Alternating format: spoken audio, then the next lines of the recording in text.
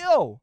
Hva skjer? Ah, hjertelig velkommen tilbake til en ny episode av Hva skjer? Aktualitetsmagasinet, hvor jeg tar for meg det viktigste og det langt mindre viktige som har skjedd i det siste, så at du slipper å følge med. Og i dagens episode skal vi faktisk oppsummere to uker med nyheter, så det er masse spennende, rare ting å forberede seg på. Blant annet stjålne gullruter, Hollywood-kjendiser i Norge, nye leverposteibokser og en bil som har krasja inn i en stue. Det er ikke kødd. Se på det her, liksom. Uansett, vi skal oppsummere alt. Hjertelig velkommen til Hva skjer? Spenn fast setebeltene. Nå kjører vi. Og før vi starter, du må gjerne abonnere. Da syns jeg du er rimelig kul. Er du enda kulere, så blir du medlem på kanalen. Og husk at du også kan joine discorden. Du har lyst til å påvirke hva som skjer i disse videoene. Vi har en egen kanal der dedikert til denne serien. Bare join. OK, la oss sette i gang med de ferskeste nyhetene. Det har vært prisutdeling, nærmere bestemt Gullruten. Arrangementet hvor TV-bransjen feirer seg sjøl og gir ut priser til de som har vært best og de som har vært flinkest, og gjort bra ting på TV. Men det blir ikke Gullruten-feiring uten litt drama. Og i år så var det ganske mange ting, så vi må ta én ting av gangen. Først av alt, noen stjal Gullruten-statuetter. Altså to gullruter ble stjålet, men de ble funnet til slutt. Det var altså både TV2-serien Spillet og Bård Tufte Johansen sine priser som ble borte. Sporløst forsvunnet. Bård Tufte Johansen posta dette bildet etter at han hadde Ja, han hadde vunnet prisen for beste programleder, underholdning. Takk for Gullruten. Hvor er Gullruten? Det var statsmenn i to timer før noen tok den. Har sjekket rundt, ingen har sett den. Basert på opptak fra i natt har jeg en hovedmistenkt. Og så tagga han Snorre Monsson. Snorre bedyra sin unnskyld. Det er et veldig bra motiv. Jeg skulle ønske at det var jeg som hadde tatt den, men det er det dessverre ikke, sier Monsson til VG. Så selv om han hadde lyst til å ta den, så har han altså ikke gjort det. Og gullruten til spillet ble også på mistenkelig vis bare borte. Vi oppbevarte den på et sted hvor bare vi i Mastiff hadde tilgang, og plutselig var den borte derfra. Det er ingen av oss har tatt den, så da skjønte vi at den har blitt stjålet, sier Larsen. Hvorfor er dette en greie? Dette, dette har skjedd før òg. Folk har stjålet priser før. Jeg, jeg, forstår ikke Eller jeg forstår litt appellen. Det er en bra sånn fylla-historie, I guess. Men folkens, frykt ikke. Prisene kom til rette. Men ikke før neste dag, hvor den i 13-tiden ble levert i resepsjonen på Hotell Norge. Så med andre ord, enn til nå ukjent person stjal to gullruter, våkna opp med dem etter tidenes fyllekule med sånn passe angst, og bare bestemte seg for å levere dem i hotellresepsjonen. As you do. En van vanlig dag på jobb for den som sitter i resepsjonen der, med andre ord. Men ja, prisen kom til rette. Det er det viktigste. Selv om jeg synes han kunne gjort noe mer kreativt. Han kunne ha gjemt dem på hotellrommet, på et sånn rart sted på toalettet. Jeg vet ikke. Bra historie, bare uansett. Og som nevnt, vi er ikke ferdig med Gullruten. Fordi ukas friskeste intervju er det absolutt Snorre Monsson som står for. Og konteksten her Kongen befaler vant prisen for beste humor. Gauteshow var nominert, men vant ikke. Hva var reaksjonen til gjengen i Gauteshow? Jo, de bua. Bu! Og i intervjusonen etterpå så hadde Snorre dette å si. Gauteshow burde ha vunnet humorprogram. Ja, for du bua? Ja, det var helt feil at uh, Kongen befaler vant uh, den prisen. Enkelt og greit. Er det, ikke, er det ikke det vi vil ha? Han var uenig. Han bua fordi han syntes ikke Kongen befal var morsomt. De har fått nok oppmerksomhet. Han ville vinne. Dette er en ærlighet vi har manglet i pressesonen. Det er for mange som bare pynter det til. Det er gøy. Det er humor. Og helt ærlig, jeg tror de som, de som blir intervjua og sier sånn Å nei, det var så fortjent av de andre, de fortjente det mye mer, og jeg er så glad på deres vegne. Bullshit! Jeg tror egentlig alle, alle føler på akkurat der. Du, jeg skulle ha vunnet. Vi var best. Jeg hadde mer lyst til å vinne. Det er gøy at noen bare sier det. Jeg vet ikke. Kanskje det er feil. Jeg har ikke egne meninger. Dette er bare et show av en robot som bare formelt bringer deg fakta. Men hva syns du? Kommenter i kommentarfeltet. Hurra. Du trodde vi var ferdig med Gullruten? Ikke helt ennå. For det har vært litt styr rundt programlederen Helene Olafsen. Hun var programleder for anledningen på Gullruten, og i etterkant har det kommet en del kritikk. Og kritikken er ikke nødvendigvis retta mot Helene Olafsen selv, men produksjonen, som har tvunget henne til å gjøre det hun gjorde. Og hva var det hun gjorde, egentlig? Hun dansa mens hun snakka som programleder. Vi skal ta en titt på det etterpå. Ei som heter Maria Ludvigsen har skrevet debattinnlegg i Nettavisen og skrevet noen har fått en skikkelig dårlig idé som burde vært stoppet. Det ble den ikke, og det måtte Helene Olafsen lide under. Hun skriver i lengder om hvordan dette var en dårlig idé, det var megakleint, det var teit, og TV 2 er skikkelig bad for å ha satt henne i denne settingen. Men så kommer Helene selv og sier eh, vent litt, jeg må oppklare en del ting. Og Helene oppklarer. Det var altså min idé, dette. Og jeg er superstolt av jobben vi gjorde. Så dette innslaget har altså vært så rart eller så bad at den personen som kritiserte det, ikke tenkte at det var Helene som kunne stå bak det engang. Og Helene sier jo, jo, det var min idé. Det var kjempebra. Jeg er stolt. Folkens, dere skjønner hvor det bærer hen. Vi må se. TV-året som har gått. Vi oppsummerer. OK. Danseshow? Bamsegutt. Nei. Nei. Gauteshow. Svingte det. Fredrik Solvang i MGP. Åh, Bård Tufte Johansen i MDG. Artig, det. Uh... Spillet. Anette Hoff og Erik Torstvedt. OK, OK, OK. ok, ok. Couple goals. Nei. nei, nei, nei. nei. OK, som sagt, jeg, jeg, jeg skal ikke være her og ha egne meninger, men det var litt rart. Kan jeg si at det er objektivt? Kan jeg si at uh, uh, Men OK, det er kreativt. Det er nytt, det er litt rart. Jeg har ikke sett alt. Jeg har sett noe. Jeg er litt svett, men, men det må vi tåle. Jeg syns det er litt voldsomt å skrive debattinnlegg i Nettavisen, eller hva det var gjorde. Da er, da, er du, da er du veldig hater. Men ja, som sagt, jeg, jeg er litt klam. Jeg, jeg vet ikke hva du følte etter det her. Du kan sikkert se det på TV2 sine sider, hele greia, men Helene, godt jobba. Du fikk folk til å snakke, i hvert fall. Tommel opp. Folkens, folkens, folkens, folkens, folkens.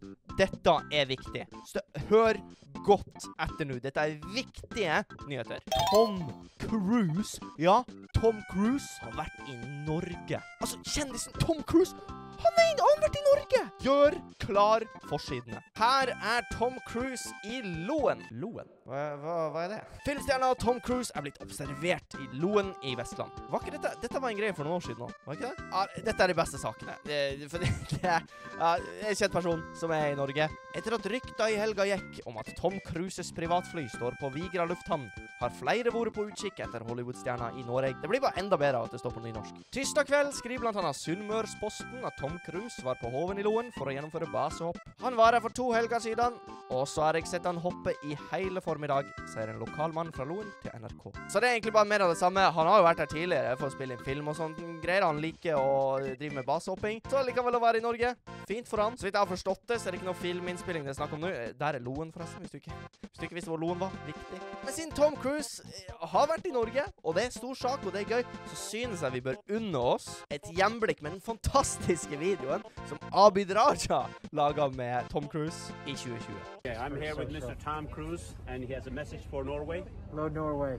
Uh, Love how- your country. Are you liking This is Chris McCory. I'm here with Mr. Tom Cruise. How you liking Norway? Are you liking Norway? Nei, Abid, legende. Legendevideo, helt fantastisk. Ti av ti. Elsker mer saker om kjendiser fra utlandet som har kommet til Norge, spesielt i distriktene. Elsker det. Ti av ti. I'm here with Mr. Tom Cruise.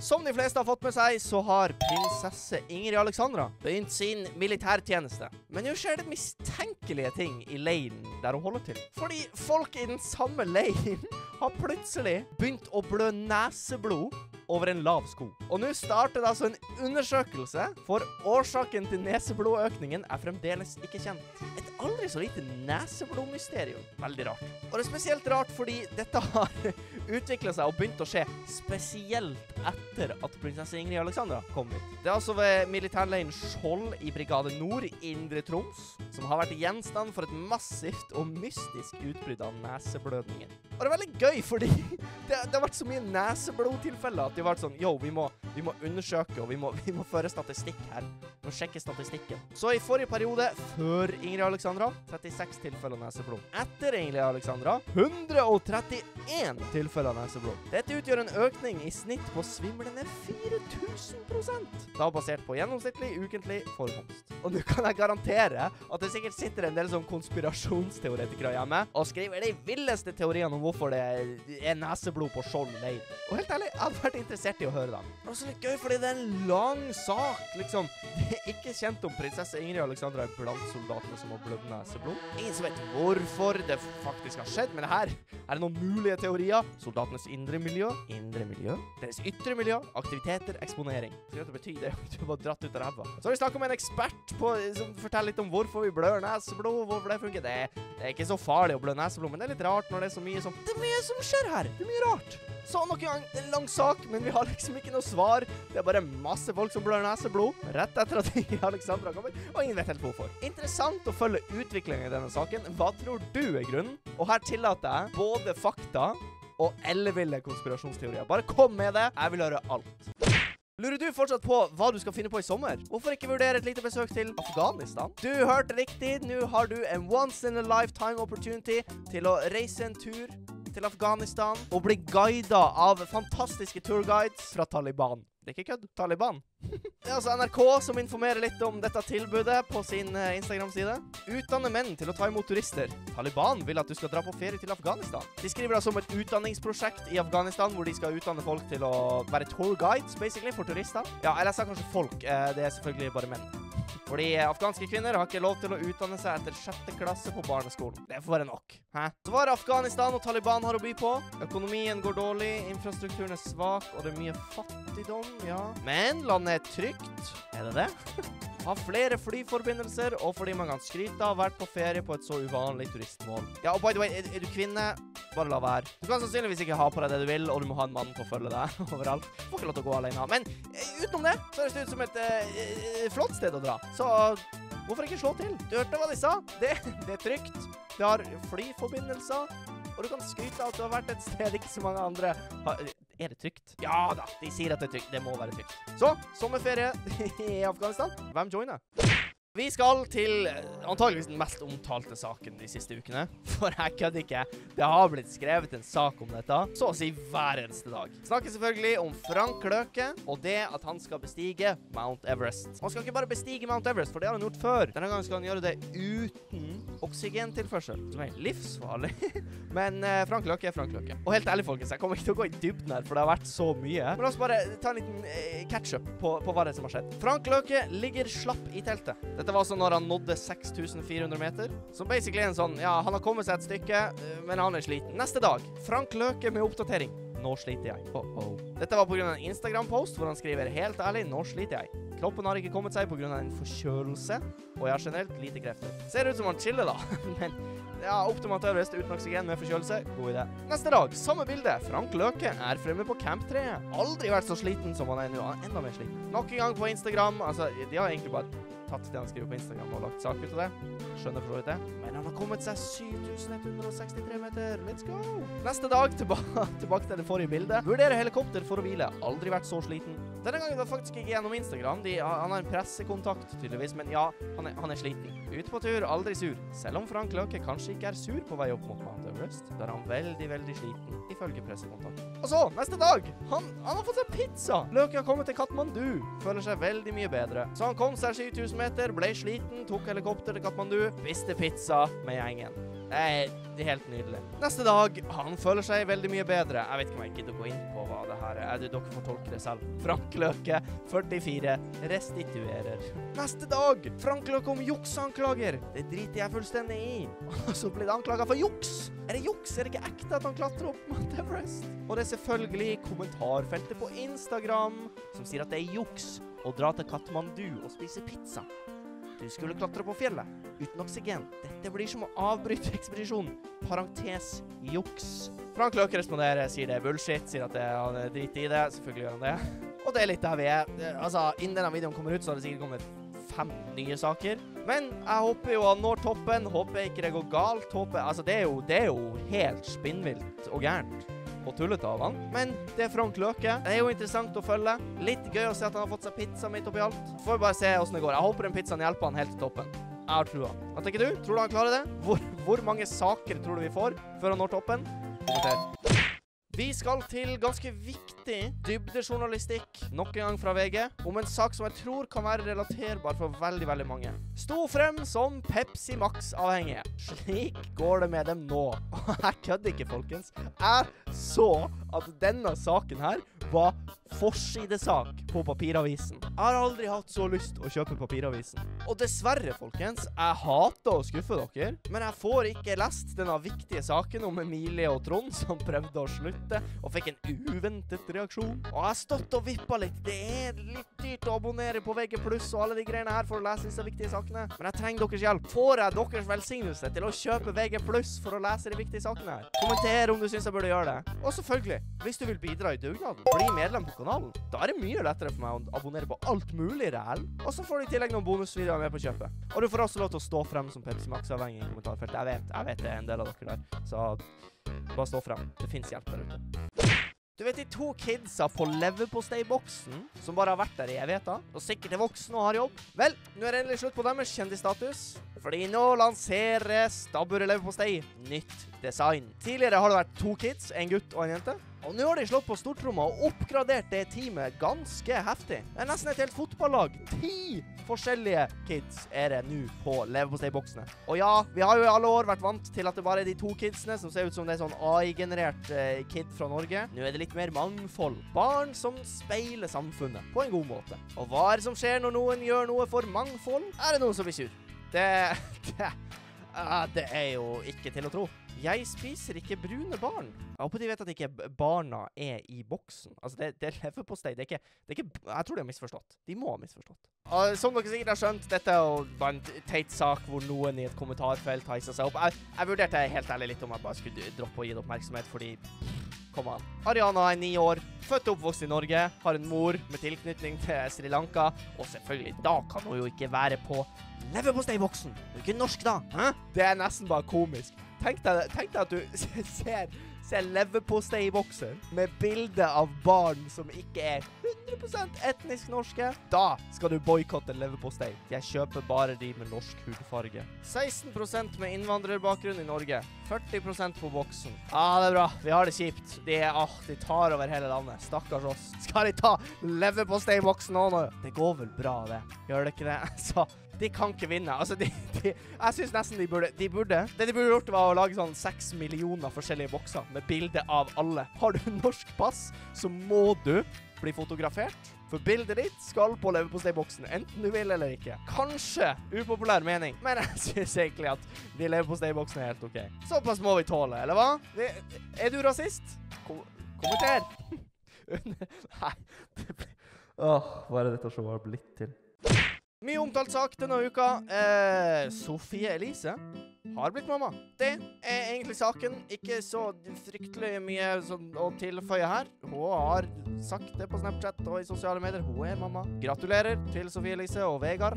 De er selvfølgelig veldig glade. Forstår jo at dette har nyhetsverdi, for folk vil jo vite, I guess. Og det har ikke vært så veldig mye på sosiale medier fra Sofie Elise, så vidt jeg har forstått. Men de har selvfølgelig avslørt at babyen eksisterer. Men det som er litt interessant, er at eh, de har holdt babyens navn skjult men har delt bilder der hun refererer til han som Baby H. Fikk det høres litt ut som sånn robotgreie. Sånn Baby H, Baby A, Baby B, Baby F Nei, OK. Barnefar Vegard Jørstad meldte først om barnets ankomst i tirsdag ettermiddag. Da var Baby H ankommet verden, skriver han i en Insta-story på sin private konto. Så det store spørsmålet er jo om vi klarer å gjette hva babyen heter. Så jeg foreslår at vi starter en helt uskyldig gjettelek nede i kommentarfeltet. Den som gjetter riktig, får et eh, hjerte og eh, en shout-out, I guess. Jeg personlig gjetter Hallgeir. Skal jeg virkelig gjette Hallgeir? Ja, jeg står for det. Jeg Hallgeir. Baby H, Hallgeir. Hva gjetter du?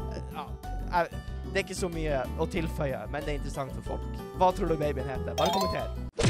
OK, folkens. Dette er en av mine favorittsaker denne uka. Og faktisk kanskje en av mine favorittsaker på veldig lenge. Tittelen sier det meste, egentlig. Fikk bil inn i stua.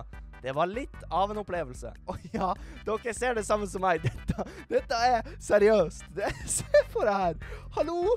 Hva? Det, det er så crazy. Kåre Jan Tjessem og kona våknet til et uvanlig syn tirsdag morgen. En bil hadde nemlig kjørt inn i en av stuene deres. Kona mi var først oppe, og da viste det seg at det sto en bil inne i en av stuene våre med blinklys og det hele i full vigør, forteller Kåre til NRK. Så, så, bare, bare se på det bildet her. Hvordan har den bilen kommet seg inn dit? Like før klokka seks tirsdag morgen kjørte en bil inn i huset til Kjessem hjemme på Evje og Hornes. Må jo tenke at det er en drøm. Altså, du våkner opp klokka seks av at en bil har krasja inn i stua di. VG omtalte også saken, og har også noen fantastiske bilder, spesielt ja, det her bildet syns jeg er kanskje det mest illustrerende. Altså, bilen må altså ha kjørt av her, hatt full fart gjennom den planen, tatt sats og hoppa over den skrenten her, og rett inn i stua. Dette er jo som dratt ut av et spill. Jeg føler jeg har gjort jeg har gjort det her i sånn Burnout Paradise på PlayStation 2.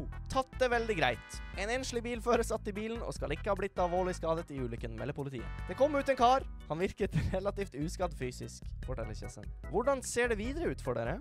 Nei, det er litt av en opplevelse, men heldigvis er vi et rolig folkeslag og har tatt det her veldig greit.